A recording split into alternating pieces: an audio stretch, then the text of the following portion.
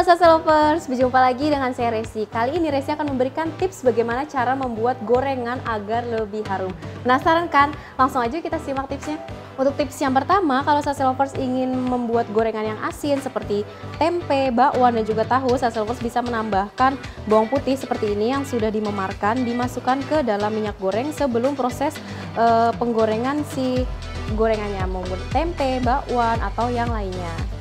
Ini bisa kita goreng sampai matang, selanjutnya kita angkat dan selanjutnya kita masukkan gorengan yang akan kita masak. Nah untuk yang kedua, jika sase lovers ingin membuat gorengan yang manis supaya baunya lebih harum seperti e, misalnya pisang goreng atau ubi goreng, sase lovers bisa menambahkan daun pandan. Nah daun pandan ini yang akan membuat minyak gorengnya nanti jadi lebih harum. Nah setelah bau pandannya sudah keluar, selanjutnya tinggal kita saring dan kita masukkan gorengan yang akan kita buat.